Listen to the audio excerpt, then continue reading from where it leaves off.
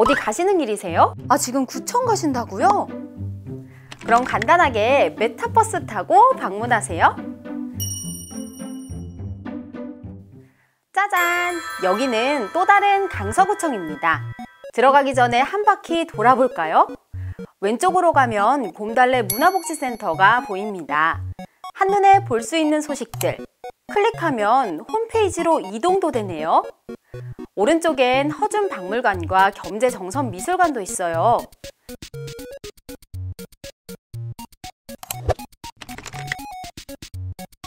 자, 그럼 본격적으로 내부를 살펴볼까요?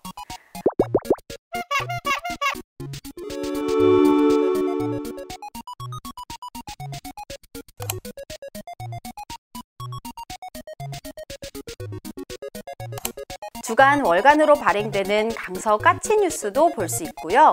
구민들이 많이 찾아주시는 민원여건과와 부동산 정보과가 1층에 있네요. 말을 걸어볼까요? 안녕하세요. 뒤쪽으로 오니 엘리베이터가 있네요.